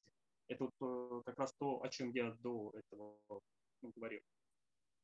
О том, что если наша задача как снижение вероятности, то у нас даже во флоте реализация как раз на этом основана в том, что мы каждым битом снижаем э, вероятность и все точнее и точнее приближаем наш результат. Если нам, например, нужно огрубить, мы можем последние биты выкинуть, и у нас останется только первые биты, самые грубые. Ну, я, наверное, немножко понимаю, так, ну, про первый я просто понимаю, про второй я так чисто интуитивно понимаю, но э, да, разумеется, деление – это плохо, сдвиг – это хорошо, но сдвиг он только на два на 2 это, это слишком много, грубо говоря, да. То есть э, на самом деле, ну, если говорить о вот э, реалиях, да, реалии, они в том, что, ну, если мы какие-то какие придерживаемся физиологических э, чисел, да, то там мембранный потенциал, там его характерное время порядка 10 10 миллисекунд. Если у нас, скажем так, миллисекунды, да, то нам надо, ну, грубо говоря, на 10% его уменьшить. А это уже ну, никак не сделаешь, если только умножая на 0.9, либо, вот как я сказал, да, то есть мы э, вычитаем единичку, но только не всегда, а только с какой-то вероятностью, которая пропорциональна самому текущему значению потенциала, как я, собственно, говорил. Поэтому, да, если бы все можно было на сдвигах э, сделать, то все было просто замечательно. Во второе, э, вот я что-то не, не, не совсем понял, что хотите сказать, но ну, э, ну да, степень огрубления, конечно, можно регулировать количеством бит, но это тоже это настолько дискретная вещь, да, ну как, я, я вот, честно говоря, не очень, вот, второй день просто, наверное, не, не осознал, что вы имеете в виду. Хорошо, ну это так, просто было общее слово. Спасибо за ответ. Спасибо. Давайте я зачитаю вопросы из чата. А, вопрос такой, можно ли как-то построить эффективную с точки зрения обучения эквивалентность стохастического шума и детерминированного хаоса из нелинейных систем? Ну, а чем они отличаются? Они практически ничем не отличаются для внешнего наблюдателя. А, хаос в нелинейных системах – это, ну, это настоящий прям шум. А, а какая разница? Ну, видимо, человек и спрашивает что-то такое. вопрос, поясню немножко. Просто вот вы говорите ага. про то, что образом ставить, значит, эффект э, стохастического шума, да, то есть добавить какой-то, в общем-то, ну, по сути дела, член уравнения, да, на, значит, на систему нейрона. Вот, а почему просто, например, не взять, например, систему из, ну, с, с тремя степенями свободы, ну, какую-нибудь аналогичную там системе Лоренса, например, да, вот, с тремя потенциалами, чтобы, так сказать, избавиться от вопроса необходимости добавления каких-либо дополнительных слагаемых, а вшить вот этот вот детерминированный хаос автоматически в модель. Ну, потому что, как вы правильно заметили, стохастический слом обычно моделируется на компьютерах просто путем, значит, э, ну, как бы симуляции какого, какой-либо ну, детерминированного хаоса, да, из какой-нибудь обычной нелинейной системы, там, даже в том числе дискретной. Вот. Можно как-то это сразу же все задеплоить без дополнительных вот каких-то затрат на э, попытки это искусственно вставить? Спасибо. Ну, как вы хотите ввести э, три э, дефора новых, да, в когенерацию шум. То есть это, конечно, можно сделать, но я бы не сказал, что это будет без затрат, это будут затраты очень серьезные. Э, если можно было бы, я говорю, что э, на самом деле было бы замечательно, если бы это можно было бы Э, сделать прямо из физики, да, ну вот я знаю, что есть генераторы, которые просто берут там квантовый шум, ну, дробный шум до электронов. Это прям в чистом виде, случайное число, которое прямо, вообще прям случайное. А, но, опять же, надо же его в цифру перевести. Для этого нужна схема, которая, ну, фактически нам нечто аналоговое переведет цифровой, да. Ну, то есть ну, я, я, я, честно говоря, вот слабо в этом разбираюсь, в этих электронных делах, но, в общем, мысль такая. Можно ввести, конечно, генеративное числа на основе там какой-нибудь классической системы динамической, но ее реализовывать, это тоже же огромные накладные расходы. Хотя, да, почему бы и нет.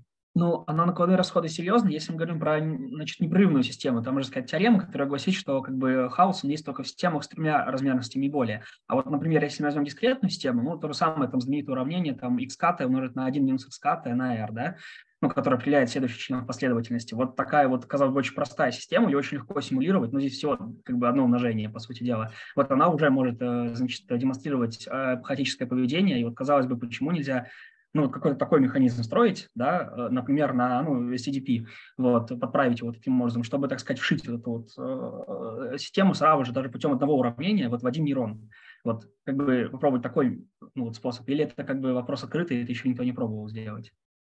Ну, я думаю, это вопрос связан с эффективностью. Почему так? Я, я, я говорю, поскольку сам я не, не использую стохастических моделей, да, значит, э, мне приходит, я э, добиваюсь э, всяких шумовых вещей введением просто внешних, внешних посолновских источников. Вот, поэтому у меня, у меня мои, модели они детерминированы. И, допустим, я знаю, что железные реализации которые в всяких там, в том же там Лоихе, там, там есть. Там, там стоит э, случайные числа, э, вполне какой-то традиционный генератор, я не знаю точно какой, как он работает. Ну, наверное, они изучали разные возможности. Наверное, показалось им... То есть я не знаю, какой там алгоритм имплементирован, потому что это там все завязано на оптимальность по железу э, чтобы все было наиболее миниатюрно, наименьшее количество транзисторов требовал, там, ну, понятно я не знаю, может быть, они рассматривали такую возможность введения какого-то такого шума из динамических систем нелинейных, но они такого решения, видимо, не приняли. Ну, ну впрочем, не знаю, я не знаю, как какой-нибудь устроена генерация. Хорошо, спасибо. А можно, пожалуйста, второй вопрос задать? Вот, наверное, более такой э, простой. Э, значит, а вот вы сейчас привели пример, соответственно, да, про то, что вот можно использовать посолнечные суммы и так далее. А есть какие-то конкретные примеры вот оптимизации? Ну, то есть, условно говоря, взяли какую-нибудь спайковую нейронную сеть, там, да, наверное, которая там, ну, условно, картинки пусть там или какие-нибудь видео, значит, нам на классы делит. Ну, опять же, такое вроде как уже давно а, использовалось. И давай в нее просто вот а, там руками, да, а, шум. Вот, ну, какой-нибудь. Вот можно прям сказать, действительно это помогает в эффективности? Или это скорее теоретические вопросы каких-то явных практических исследований на тему его, вот, значит, э, эффективности еще не было? Да нет, вот я вот сейчас, ну, я, я сейчас занимаюсь, поскольку reinforcement learning, да, то, э, ну, вот шум для задатки там я так и использую. То есть у меня сначала она хаотические движения делает, э, потом, ну, допустим, там всякие там э, вещи, связанные с трекингом объекта, вещи, вот Atari Games, да, вот с э, пинг-понгом. Ну, я там так и делаю, да. Сначала хаос, потом хаос блокируется, когда он начинает э, более-менее осмысленные э, самодвижение делать. То есть ну, просто, вполне, вполне используется. Просто в рейте же можно просто exploration rate покрутить немножко, да, и, по сути дела, это что же самое эффективно может генерировать нам, в общем-то, какие-то, ну, полуслучайные, значит, э, наборы, да, рядов, на которых мы можем там, да, обучаться, например. Вот э, как-то можно ли сказать, что вот, условно говоря, там механизм изменения exploration или exploitation rate, они как бы неэффективны по сравнению с а, вот введением шума? То есть есть это какой-то существенный прирост? Ну, я говорю, что на самом деле, вот если говорить об, э, об, об RL, да, а там само, ну как, там надо сначала, чтобы сеть что-то делала. Там дело даже не в э, э, скорости обучения, да, это немножко другой вопрос, а в том, чтобы, ну, создавалась некий, некая выборка, она сама себе эту выборку создает, она сама делает что-то, потом ее, ее оценивают. Но это откуда-то должно браться, и оно не может не браться, кроме как, как, как случайности, верно? Поэтому ну и с примерами, да, допустим, я вот хочу, вот у меня есть, я хочу э, сделать классификатор кошек, да, но у меня есть только кошки, вообще ничего другого нет, не то, что не собак, вообще ничего нет, да. Ну вот я говорю, вот беру кошку, вот беру там некое, некое случайно сгенерированное что-то, да. Ну и как бы вот для меня это отрицательный пример. Тут дело не в обучении его скорости, а в том, что просто у меня, допустим, нет отрицательных примеров, я сам себе их произвожу, я должен их производить с какого-то шума. Хорошо, спасибо, понял.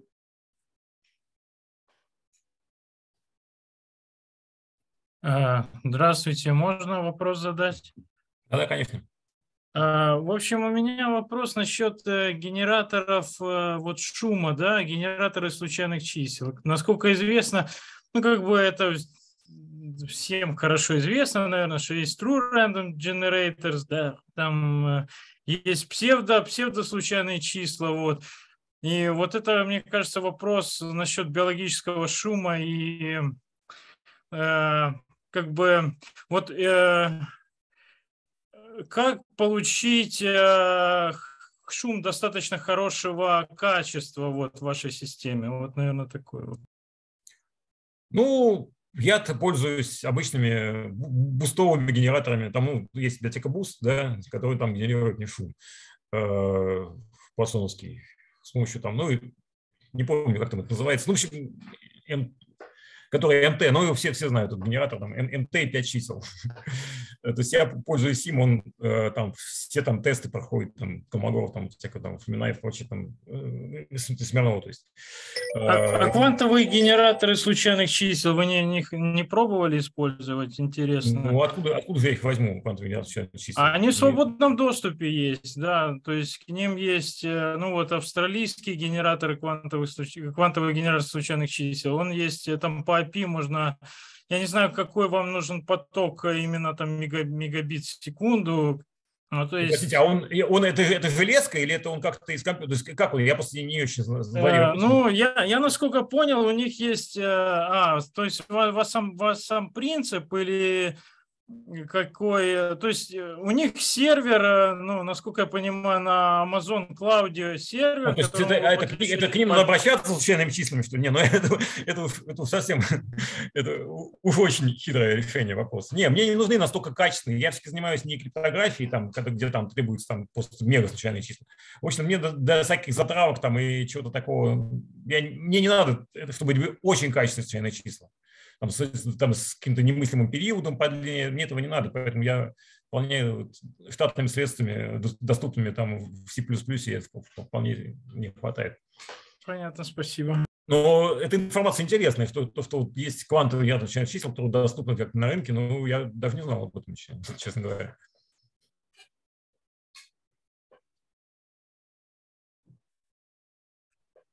Да, я даже вот нашел Ану Quantum Numbers, видимо. Да, Олег? Да, да, да, да. Но есть несколько. Есть как бы э, этого швейцарского э, ну, или Лозанна университета. То есть есть вот, да, Quantum Numbers, э, Random Quantum Numbers австралийский, как бы вот два, два в свободном доступе. Я с ними уже полгода экспериментирую. Это очень интересные вещи, честно говоря. Они... А вот если это с мозгом еще как-то связать, то есть с вашими системами, которые моделируют мозг. То есть, я думаю, это, ну, это очень интересные вещи могут получить. Но я подробности не буду вдаваться, но, но это очень интересно. Но мне кажется, если бы такая штука была бы очень маленькой, и можно было бы ее куда-нибудь строить, какие-нибудь нейрочипы, это было бы просто вообще очень здорово. Насколько я знаю, то ли она не маленькая, то ли... В общем, то есть так вот, по-моему, так никто не делает. То есть никто вот квантовые, квантовые числа э, не извлекает вот на, на микросхемах обычных. Ну, Не-не, тут я смотрю, тут железка квантовая. Ну, то есть не, но, не не, ну она большая, то есть ее же, это, наверное, какое-то отдельное устройство. Я, я говорю сейчас про микросхему, про нейрочипы, да, вот, допустим, как наш там Алтай, там что-нибудь еще такое, где явно есть потребность в числах, но они там, я думаю, такими штуками не понял, они там обычным образом там псевдослучайные числа, наверное, генерят. А если бы была такая возможность, они бы наверняка это бы сделали, ну, это идеальные случайные числа. Понятное дело, что это лучше всего. Но, по-моему, такого нет возможности технологической сейчас. Ну, наверное, нету, да. Там, там температура низкая очень нужна для начала. Не, не, это все пока не для нас, значит. Да. А вы вот упомянули Алтай. Я на свою конференцию пытался вот просто изо всех сил людей из мотива пригласить, как-то с ними mm-hmm. связаться. Мне никто не ответил. У вас есть какие-то на них выходы? Вы кого-то оттуда ну, знаете? Ну, скоро мы просто все вместе увидимся, потому что мы будем в Ереване на вот Open Talks AI. Mm. Они то, приедут, у нас там вместе доклад будет на, в, одной, в одной секции, поэтому э, Валерия, наверное, и Алексея Зверева, там, я надеюсь, там увидеть. Угу. На конференции, значит. Ну, кстати, я хоть не организатор, но э, приглашаю на конференцию. Там, там будет много интересных людей, так что интересно будет, будет пообщаться. Если есть возможность, то приезжайте. Ну, я постараюсь. Как называется? Open Talks AI. Э, а. Будет 5-6 марта в Ереване. Супер. Я У меня там будет доклад по, математи- по математике на спайках, что можно вычислять с помощью спайков там, и так далее. Угу. Очень интересно. И вообще очень интересно, если у вас будет возможность сделать какую-то демонстрацию на реальной э, железке. Ну, железка не моя, железка, она мотивовская. Я, не, не, ну там если у вас доступ на лоихи есть. Но, а, ну, лоих тоже, она только удаленная, поэтому никакой а, железки, конечно, не, не даст, это понятно. Не, ну, и вообще нельзя, нельзя поставлять не только что в России, даже и в Китае, ни, ни, ни, никоим образом. Так что вот это даже близко невозможно. Mm. Не, ну в Москве-то вроде, ну, Дима Иванов, по-моему, вот, который в Росатоме работает, говорил, Нет. что Лаихи, ну, свой есть вроде. Да не, ну нет. Ну, хорошо. То, то ли вот он сказал. Ладно, я, наверное, не так понял. Но это невозможно, абсолютно. Окей, а то уже второе поколение вышло, первое. Не, ну есть э, из того, что можно более-менее, ну, очень отдаленно купить, это Акида австралийская, да, ее как-то можно, наверное. Угу. Причем тоже немыслимых хищений, но ее можно а логики абсолютно невозможно. Понятно. А вопрос еще у нас в чате есть. Можно ли как-то описать шум в терминах случайных блужданий? Ну вот вы в начале доклада, я, наверное, попробую тоже прокомментировать. Вы говорили про случайные блуждания на потенциалах? Ну да. Да, так что... Ну а какие проблемы? Вот э, кидаешь монетку, монетка, монетка выпала резкой, чуть-чуть сдвинулся вверх, орлом чуть-чуть сдвинулся вниз. Вот, вот и все случайные блуждания. Ну, это, эта дельта, она дает амплитуду этих блужданий. Все. Mm-hmm. Кстати, извините, перебью. Я недавно книжку по случайным числам очень интересную нашел, и там, ну, 80-го года, и там была такая информация, что вот э, стандарт, э, комитет по стандартизации в Японии, это 80-е годы, он для получения случайных чисел использовал и косаэдры, вот не монетки, а вот эти 20, 20-гранные кубики, как бы, и почему-то вот именно на них получались хорошие случайные числа. Японцам всегда была присуща эстетика. Они, я думаю, эстетически косайдеры гораздо круче, чем монетки, поэтому, безусловно, да. А можно еще вопрос? Да, слушаю. А, только что спрашивали про какую-нибудь демонстрацию. Я хотел уточнить, если мы, допустим, ну, сами моделируем нейронную сеть, искусственно, разумеется. И чтобы как-то достоверно изучать шумы, сколько же все-таки нейронов должно быть? Ну, понятное дело, что не один, не два, не пять, ну, и, наверное, не слишком много. То есть не, оптимальное ну, значение. Э, вообще, ну вот импульсные нейронные сети, они обладают той особенностью, что они всегда предполагают какую-то коллективную активность. То есть это, ну, поскольку там, ну, потому что каждый спайк, он не информативен, чтобы сделать что-то информативное, надо, надо много спайков. То есть много либо во времени, либо в пространстве.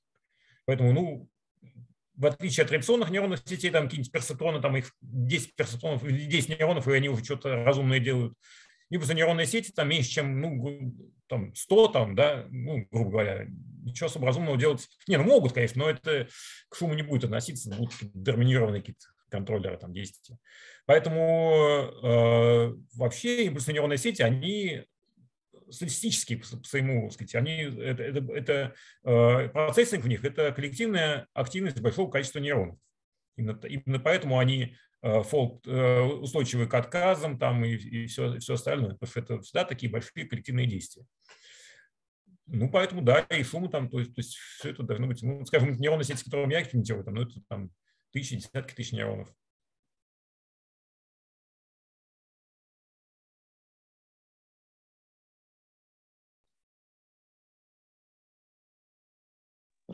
Спасибо, я понял. Ну, то есть тысячу нейронов вполне можно так ну, поизучать. Тысяча нейронов – это уже статистика. Поскольку у нас любые флуктуации – это единица на корень квадратный z, то там уже флуктуации будут несколько процентов, ну, грубо говоря, да. Уже можно изучать. Ну, при том самые большие, там Human Brain Project – это как бы единицы миллионов. Ну, Нейронов. да, да. А, да даже не единицы миллионов, десятки миллионов. Вот на Ватерлоу, да? На, на, на спиннекере, например, да, там они десятки миллионов миллионов Фервер докладывал недавно. Mm, они спиннекер расширили, да? Да, они его постоянно усиливают. То есть они, во-первых, там элементную базу еще меняют. У них там эти старые армы были, сейчас они на чем-то на каких-то новых армах делают. И они дополняют свою комнату, то есть они там ну да, да, он такой, я в книжке его читал, такая кластерная штука. Еще этот, у Криса Илья Смита в Ватерлоу был большой очень. Нейроморф. Ну, его я не знаю. Вот э, на спиннике-то я сам даже работал, я в Манчестер ездил к Ферберу, и поэтому я, вот я видел прям физически. А вот Илья mm-hmm. Смит, я не знаю, что там у него есть. Ну, тоже он еще несколько лет назад говорил про 2 миллиона нейронов. Я даже не знаю, а на чем он их симулирует, интересно? На Лаихе. Ну, по крайней мере, в своих докладах он... На Лаихе? Ну, Удивительное дело. Ну, ну в, общем, в докладах своих он... Не-не-не, миллион, милли... ну, миллионы нейронов на Лаихе это вряд ли, конечно, но он много экспериментов на них ставил. С, там, с, обуч... ну, ну, с да, Лаихе, Лаихе он, я видел, да, он входит в этот консорциум НРС, и на Лаихе он что-то делает. Но не знаю, насколько, насколько большие сети он там. Ну, далеко. из чего сети, наверное, я не знаю, да.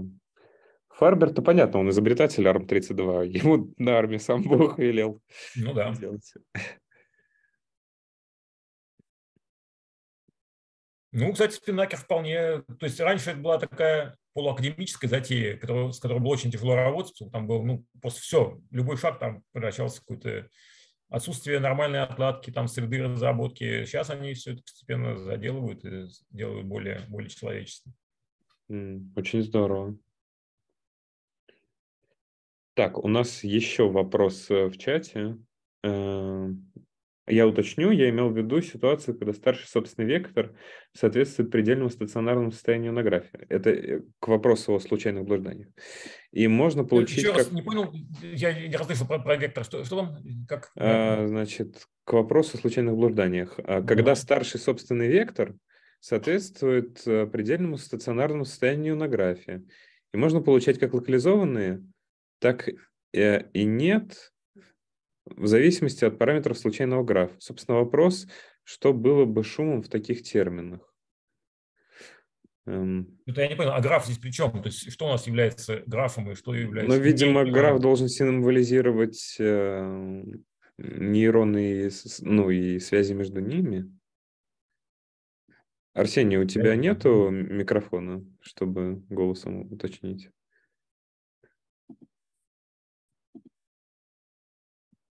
Ну, там шум, он как бы раз и, и все. И, то есть я генерирую случайную, случайную сеть, но дальше она уже не меняется, она не есть не, не, там никаких блужданий никаких не, не получается. Угу. Ну, по, ну обычно. То есть, нет, у меня там есть варианты, но они связаны не, не с шумами. То есть у меня сеть динамическая, она, в принципе, может меняться, но она меняется не из-за того, что там шум или не шум. Она меняется просто потому, что если явился есть нейроны, которые ничего не делают, я их э, удаляю и вставляю, вставляю в другое место просто. Это никак не связано с, с темой данного да, беседы. А так стохастически я сеть не меняю. Ну, угу. Тут уже, наверное, тема будет идти к какой-нибудь топологии связи нейронов и шумов. Если мы про графы говорим, у меня тоже были вопросы, но я их даже опустил сознательно. Ну, а что вы имеете в виду под связью топологии и, видимо, графовой, ну, струк, графовой структуры нейросети, да? А, ну, конечно, если мы берем биологический нейрон, он же имеет определенные связи в большом количестве. И да, Михаил уже угу. практически ответил на этот вопрос. А, есть нейроны, соответственно, даже в модели Ижикевича, я сейчас не помню уже детали, которые веса стационарны, стабильны, они как бы не меняются. Ну, угу. с памятью связано, да, модель Ижикевича памяти. То есть, угу. в принципе, уже ответ-то был на этот вопрос. Я даже не хочу сейчас время как бы отнимать. Могу без подготовки что-нибудь даже не то сказать. Ну, то есть были мысли, как бы, э, у нас же ансамбли нейронные по крайней мере, биологически имеют топологическую структуру. И если у нас уже как бы сформировался объект, такой достаточно, который рабочий, то вот эти все шумы, они будут скорее помогать фильтровать лишние, лишние данные. Ну, Михаил уже об этом все сказал. Как ну, наверное, да. Наверное, я понял, да, наверное, да. Просто э, про топологическую структуру я так до конца и не понял. Ну, дело в том, что я-то сам алгебраический тополог, и я за это сразу очень цепляюсь. Я сам изо всех сил в каких-то функциональных системах, там, нейронных ансамблей стараюсь искать какие-то топологические инварианты, но вопросы эти очень тонкие. Ну, нет, я здесь, во-первых, я совсем не специалист этой области, и, собственно, слово топологически я, по даже и не употреблял. А, но вот когда я говорил об этих структурах, которые образуются спонтанно в этих полихромных группах, uh ну, да, там он за этим Жукевичу какое-то биологическое подтверждение, то есть они поняли, как действительно образуются, действительно эти э, стереотипные э, волны возбуждений с четко выявленными таймингами, они вроде как действительно измерялись э, где-то там в коре, то есть это как бы есть. А, ну вот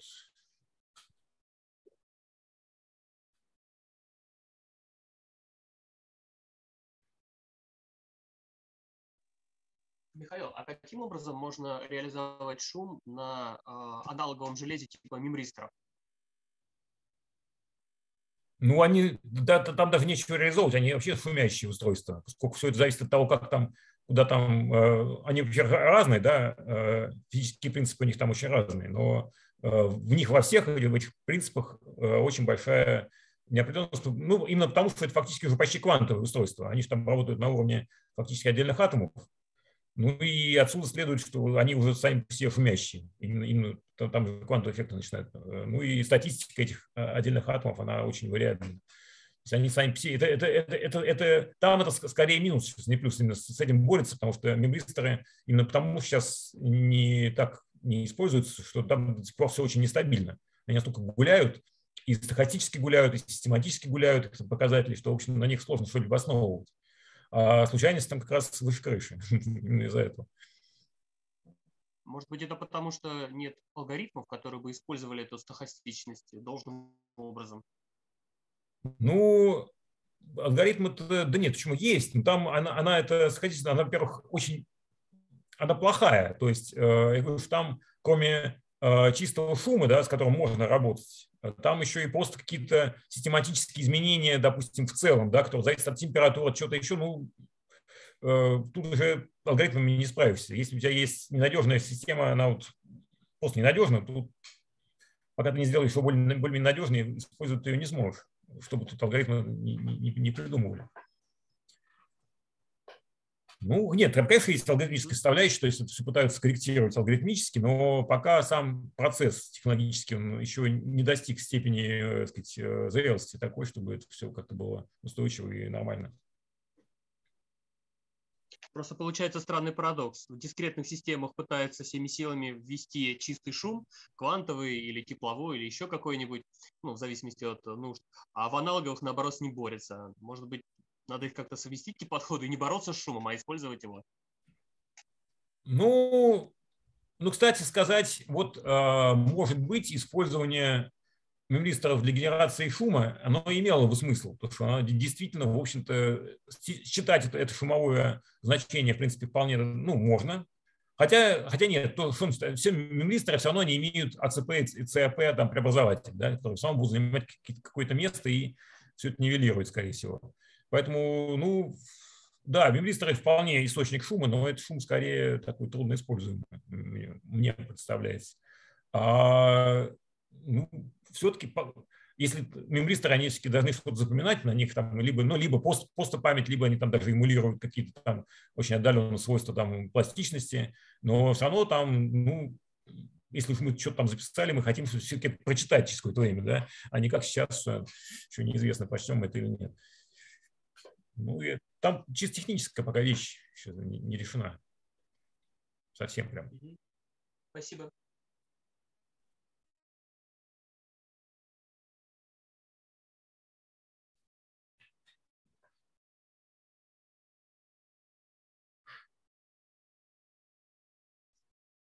Друзья, еще, еще вопросы? вопросы?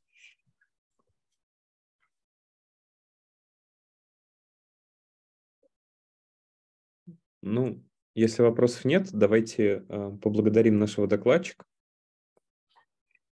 Да, спасибо вам за внимание и за интересную беседу и дискуссию. Спасибо. Было очень интересно и познавательно для меня. Я узнал тоже много нового. Спасибо, спасибо огромное. Всем счастливо. До свидания. До свидания. Да, запись будет, разумеется, всем доступна. Хорошо, окей. Спасибо. Счастливо. Угу.